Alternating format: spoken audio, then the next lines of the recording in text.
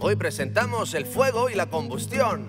Atención, se ha declarado un incendio. Debes aprender la química del fuego para no tener que lamentarlo luego. Es bueno saber cómo funcionan las cosas y el fuego es sin duda de las más peligrosas. Para saber cómo se forma un incendio, Uh. hay que entender bien qué es la combustión.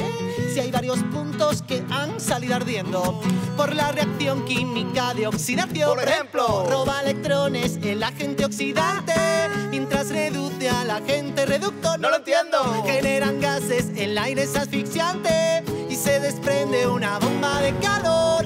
Debes aprender la química del fuego para no tener que lamentarlo luego. Es bueno saber cómo funcionan las cosas y el fuego es sin duda de las más peligrosas. Si el fuego avanza y parece indestructible, es porque hay mucha energía de activación.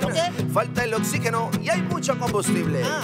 Y el calor ayuda a la propagación. Ja. Si es un incendio cerrado, de pronto se oxigena, oh, acabarás chamuscado, o mucho peor, con la reacción en cadena de flagración.